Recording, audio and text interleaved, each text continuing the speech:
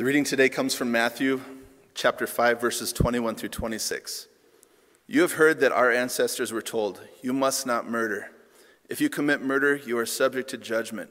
But I say, if you are even angry with someone, you are subject to judgment. If you call someone an idiot, you are in danger of being brought before the court. And if you curse someone, you are in danger of the fires of hell. So if you are presenting a sacrifice at the altar in the temple, and you suddenly remember that someone has something against you, leave your sacrifice there at the altar. Go and be reconciled to that person.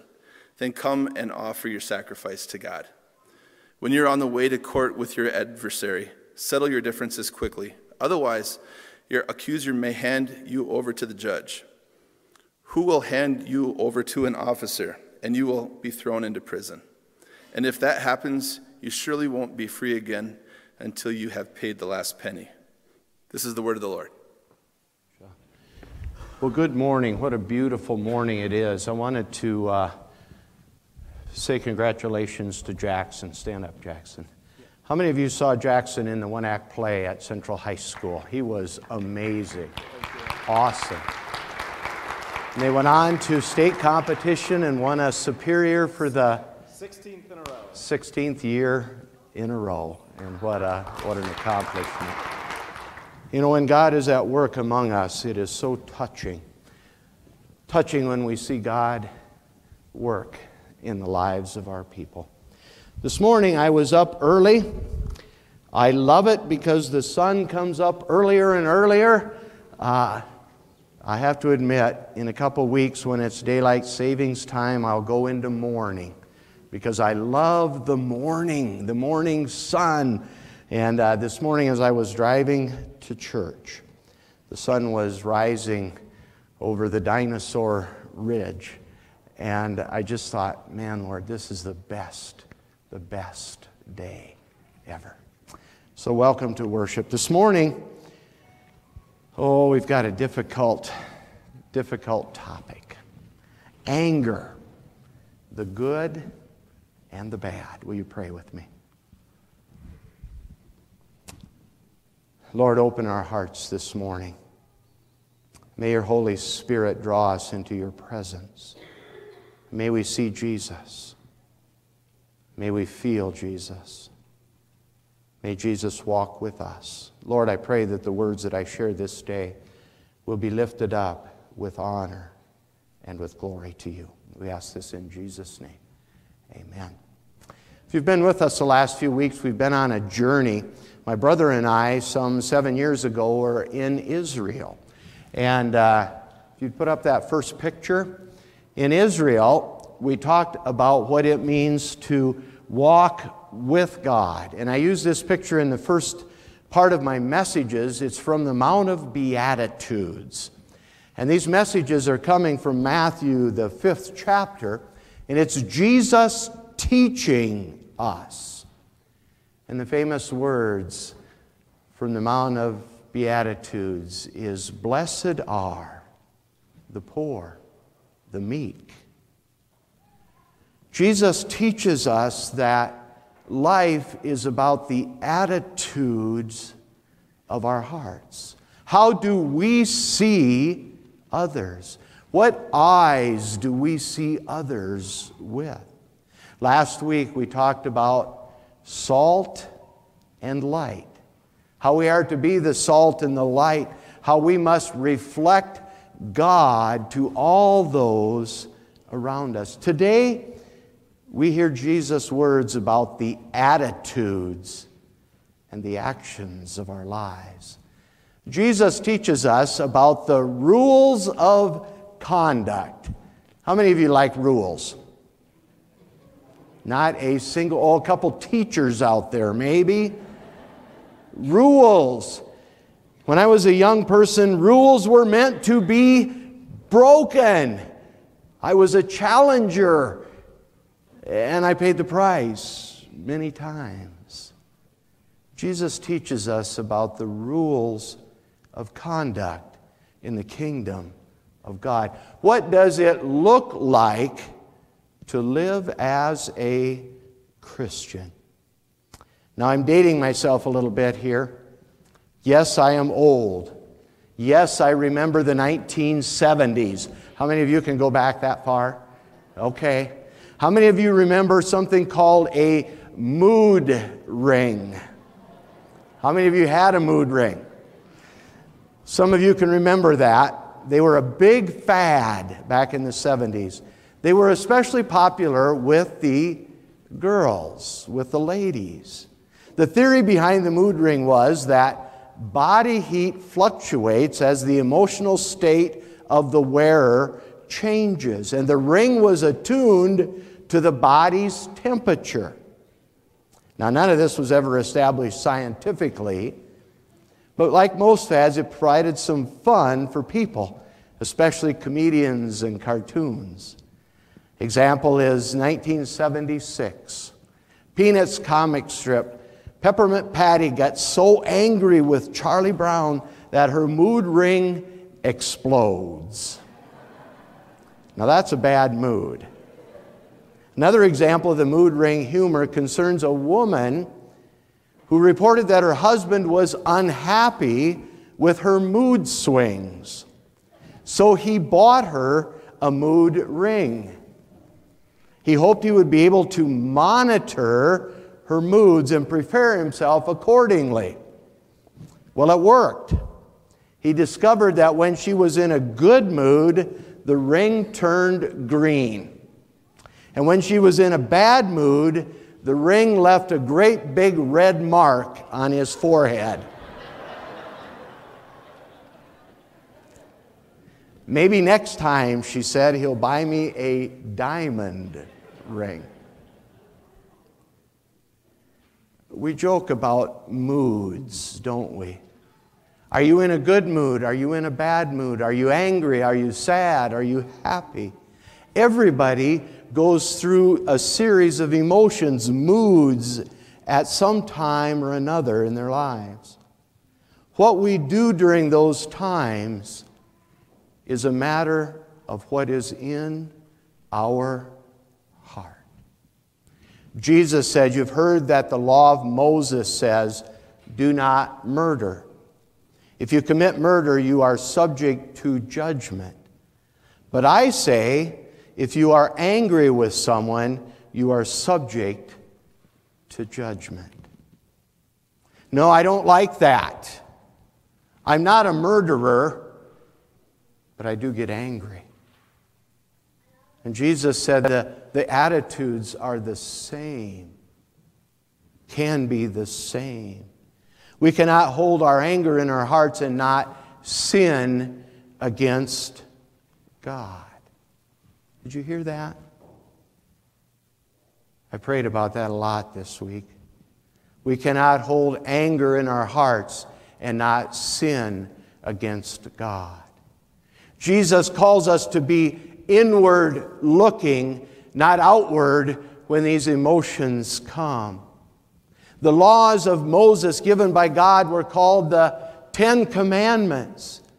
Do not murder, is the sixth commandment. I never got through the first two, I failed those every time. Jesus takes God's commandments a step farther, and he said, Anger, even anger, is a sin if you don't take the proper action. Jesus is calling us to a higher standard we have the love of Christ in us, we're to reflect Christ's love. Paul, in his letter to the Ephesians, writes in Ephesians 4 In your anger, do not sin. Do not let the sun go down while you are still angry. Hear that all the time, don't we? Do we ever obey it? Do you ever kneel at the foot of your bed and, and say, Lord, forgive me? Take this anger from me. I don't remember a, a night in 44 years that Deb and I have ever went to bed angry. I remember sleeping in the other room, but it was never because we were angry. Jesus doesn't claim that all anger is sinful. But most anger leads to a selfish desire. You think about that? When you're angry, what happens? It's all about me when I'm angry. I want, I, I, I. Not thinking about others. Because the outward act always begins with an inward emotion. Jesus said if we're filled with anger and hate, we all have the potential, potential to become murderers. It's a bit scary, isn't it? Anger unchecked, anger, anger out of, of the emotion of the heart can lead to sinful, sinful things. There are judgments and consequences for anger, for holding on to it and not giving it away. So Jesus sheds a new light on the emotion and moods that develop within us. So, how can we deal with anger in a constructive way? Well, Jesus shows us the example of a righteous anger, an anger directed at an injustice or unrighteous act towards someone else in Matthew 21 12. Jesus overturned the tables of the money changers and the benches of those selling doves. It is written, He said to them, My house will be called a house of prayer, but you are making it a den of robbers. Interesting, isn't it? The things of life can make us so angry that our anger often is not a righteous anger. Jesus hated that they were selling indulgences in the temple. If you got the next picture. When my brother and I were in Israel, this is the streets of Old Jerusalem. There isn't a square inch that they aren't selling something. My brother and I said, Jesus really sells in Israel. And the anger that Jesus felt was over the injustices done to the poor, those who needed to buy a sacrifice.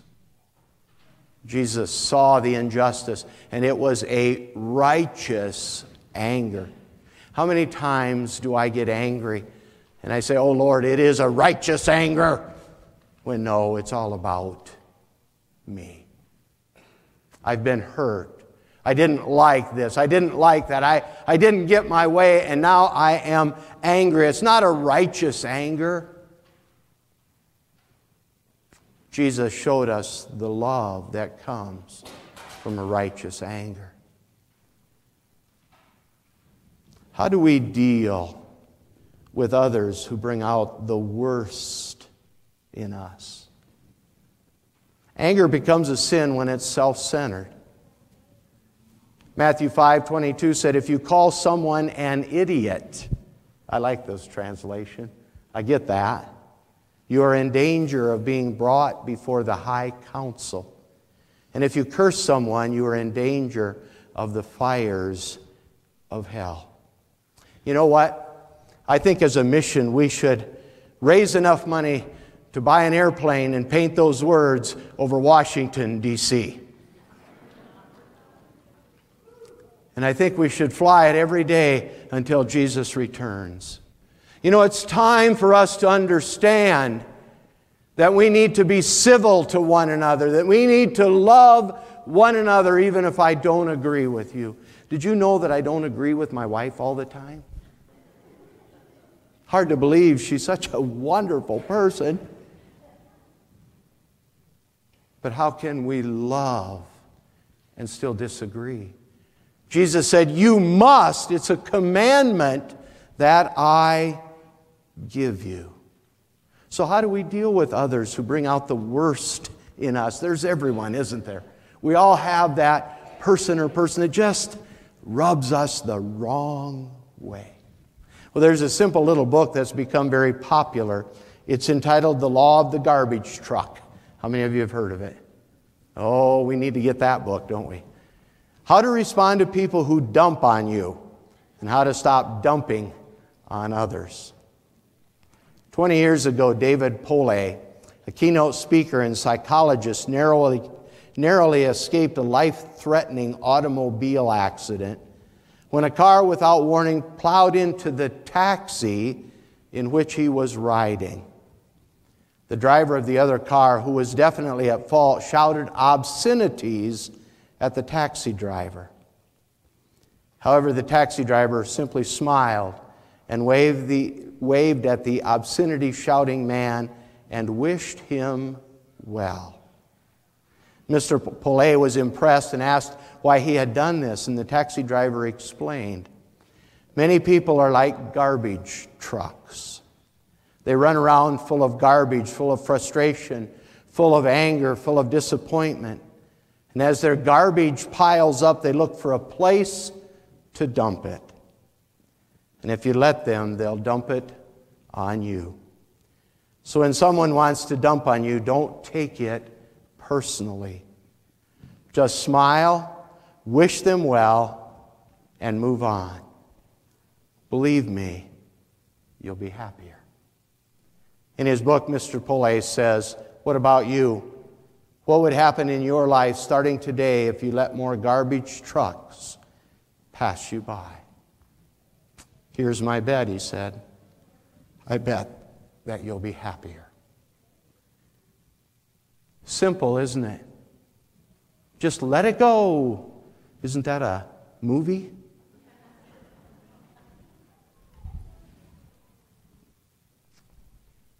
Jesus said, Don't let your anger consume you. You see, it's not about being right or wrong. Did you hear that? It's not about being right or wrong. It's about being reconciled. It's about forgiving. It's about restoring your relationship. It's about finding common ground and then loving in the love of Jesus Christ. Simple, but profound. But we cannot do it of our own strength. We need the presence of the Holy Spirit in our lives. The third picture. This picture is from the Sea of Galilee, and it's looking at what's called Peter's primacy. On the Sea of Galilee, Jesus spent many, many, many hours with the disciples. And in this very spot along the shores of the Sea of Galilee, Jesus brought the disciples after the resurrection. He brought them there, and in this very place, he confronted Peter. You remember Peter? The guy that, that was bold, the guy that stuck his foot in his mouth all the time, the guy that was always in trouble. Fourth picture, please. Here in the garden at Peter's primacy, there is a church. There's a beautiful statue where Jesus brought Peter and restored him. You remember the scripture? Peter had denied Jesus. He'd walked away from Jesus the very moment that Jesus needed him the most. And in the garden, when the young maid came up, Peter said, I do not know him. Three times. He said, I do not know Jesus. Can you imagine Jesus' heart? He knew Peter was going to deny him. Peter had walked away, he had failed his Lord and Savior. In John 21, after breakfast, Jesus said to Simon Peter on the shore of Galilee, Simon, son of John, do you love me more than these? Yes, Lord, Peter replied. You know I love you. Then feed my lambs, Jesus told him. Jesus repeated the question Simon, son of John, do you love me? Yes, Lord, Peter said. You know I love you, then take care of my sheep. Jesus said once more, He asked him, Simon, son of John, do you love me? Peter was grieved that Jesus asked him the question a third time. And he said, Lord, you know everything. You know I love you. And Jesus said, Then feed my sheep. It's a profound story because Jesus chose to forgive Peter. How much more will Jesus forgive us our sins? Our Lenten study this year is entitled Simon Peter, the flawed but faithful disciple. There are at least four different studies out there in different times. Join us this Lenten season as we look at Peter and as we understand how Peter got it wrong so many times, but how he never failed his Lord and Savior. Join us for Peter, Simon Peter, flawed but faithful. In this very place, we had a profound moment with our group. There were 26 of us, two of us were pastors. Our guide led us in a time of reconciliation.